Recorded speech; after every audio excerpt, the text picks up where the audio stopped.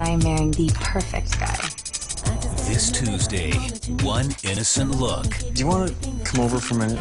can cause you to ask the questions You don't think I'm too young to get married, do you? I don't think I'm the right guy to answer that. So there's nothing going on with you two. you already know the answers to. Maybe it's time that you own up to it. She kissed me, not the other way around.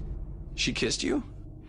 Melrose Place, new series this Tuesday at 9, 8 central on the CW.